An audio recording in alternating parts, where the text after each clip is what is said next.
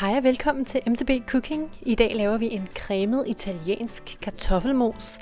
Den er altså lidt anderledes fra den klassiske kartoffelmos, som du nok plejer at lave til din millionbøf, eller hvad end du plejer at spise den til. Vi starter ud her med at tage nogle rigtig flotte bagekartofler, og det er vigtigt, at det er bagekartofler, fordi det er en meget melet kartoffel. Den indeholder rigtig meget stivelse, og den er altså perfekt til sådan en cremet kartoffelmos.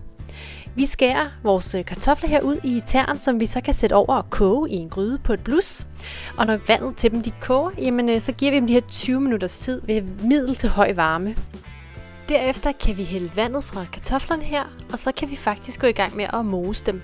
Og vi bruger en øh, stor træske. Det kan også være en gaffel, du bruger. Ganske simpelt, fordi de her kartofler de er dejligt bløde og kan let moses. Så tilsætter vi olivenolie, og det gør vi for det her lidt italienske præg på vores kartoffelmos. Det vil sige, at i stedet for at tilsætte smør, som man normalt gør, jamen så tilsætter vi en god olivenolie med masser af smag. Vi vil altså gerne kunne smage den her olie i vores mos. Så tilsætter vi også friskrevet parmesan, vi selv har revet. Og det giver jo altså det her cremede element til vores kartoffelmos. Det er igen et øh, andet præg, et mere italiensk præg, vi giver vores øh, mos her. Så tilsætter vi lidt øh, letmælk, og det gør vi bare lige for at øh, gøre mosen mere flydende. Og det er altså øh, super lækkert, så konsistensen bliver, som man vil have den.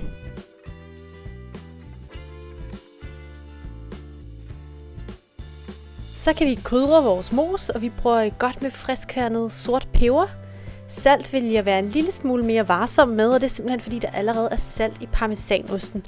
Men i vores tilfælde, så mangler den altså lidt salt, vores mos her, så vi gav den lidt ekstra.